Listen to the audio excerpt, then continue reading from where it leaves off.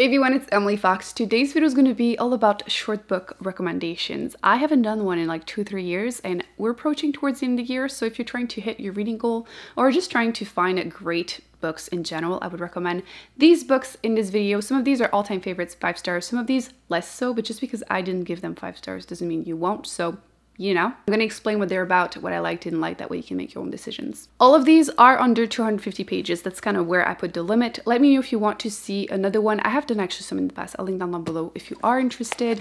But I also have some that are like 300, but they're quick reads. I can definitely do a video about that if you are in the mood for more because in my opinion, you can't go wrong with small books once in a while.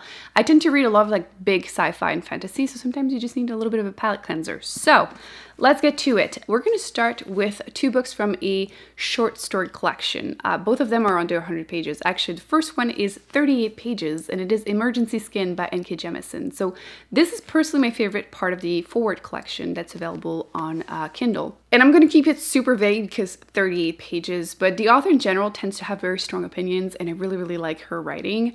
And in this one, you're following uh, someone that is from a different planet, human, that is sent to Earth trying to find something, but things just don't go as planned. That's all I can say, frankly. Uh, if you like her writing in general, I would recommend it. It's, it's good. They're all sci-fi, by the way, part of the Forward collection. I would make that clear. Uh, the second one I think is going to be the most universally liked, and it is Summer Frost by Blake Crouch. You might know the author from Dark Matter, Recursion. He tends to write really intense uh, thriller sci-fi, and this one is a dystopian where uh, a video game creator gets a little too obsessed with a character from a video game, and things happen.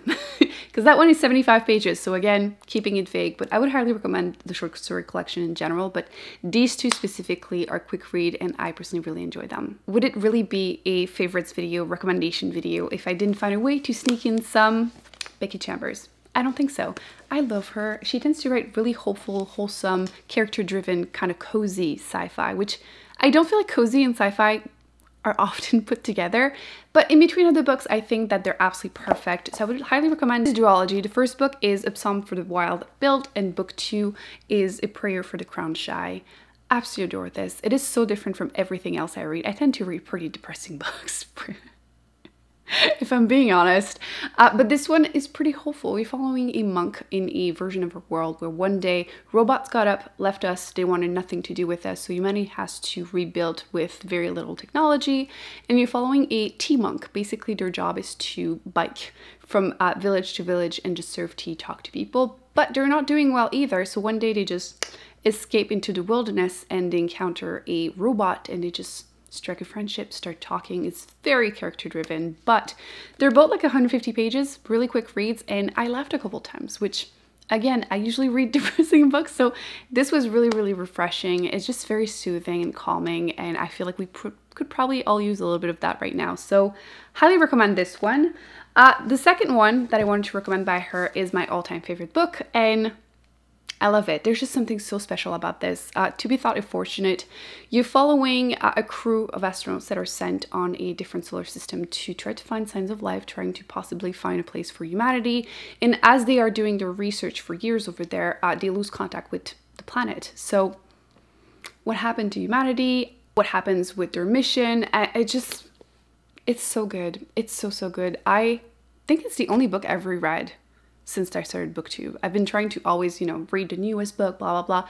This one I read twice, so I love it. I love it. Can't recommend this enough. Now we're back to my depressing reads. Uh, the first one I want to recommend is this one. This is Kim Jiyoung, born 1982.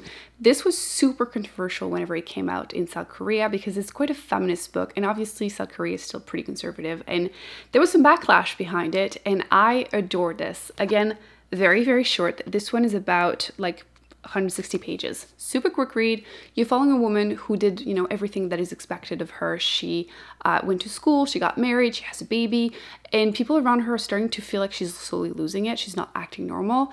And you go back in time and kind of see like chunks of her life, childhood, teenage years, and how misogyny and just sexism in society is affecting her and or has affected her.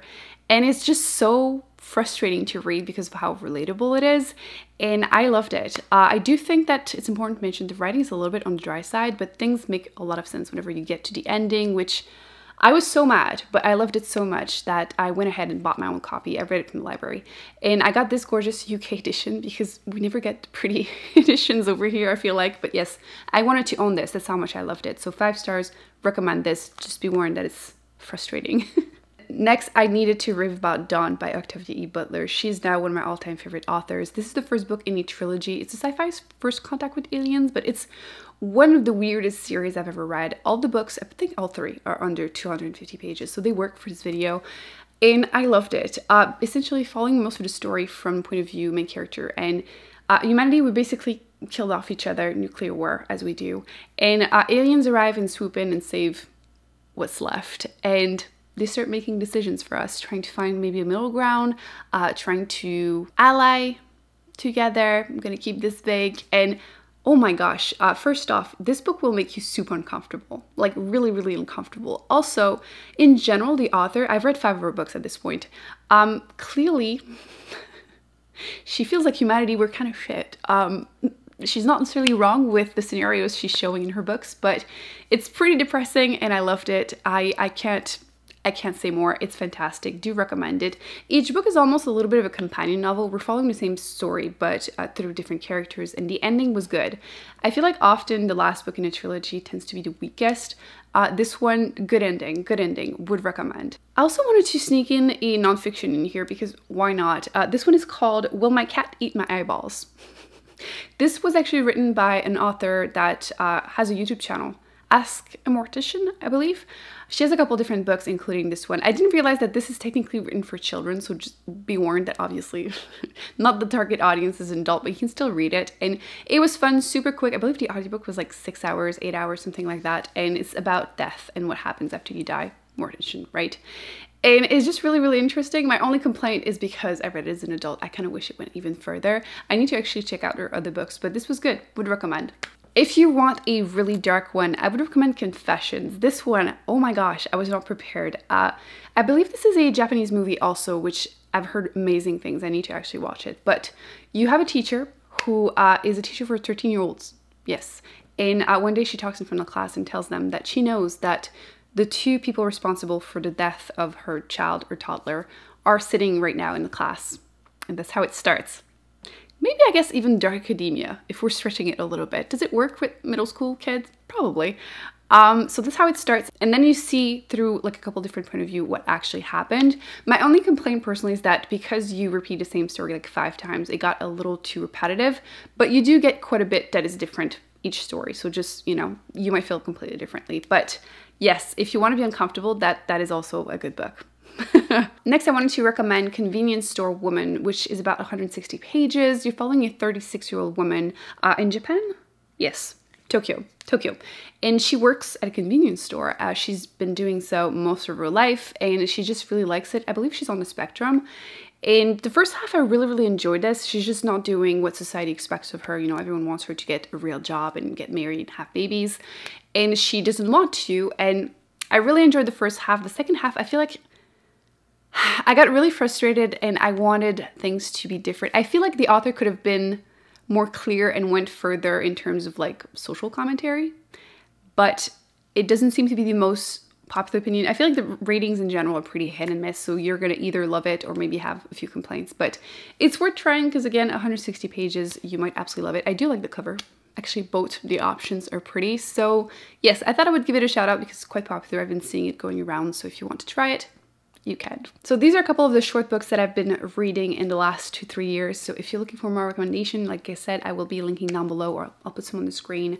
Uh, part one and part two that I had done a while ago when I had bangs. I kind of missed them, but they were really high maintenance. I hope you enjoyed this video. Thumbs up, subscribe. Please let me know in the comment section if you have read these books. What are your thoughts about them? Plus, mainly, I want to know your recommendations for books that are under 250 pages that you really, really enjoyed because I'm always looking for more. And let me know if you want to see part four. I can definitely do that. I'll see you in my next video. Bye.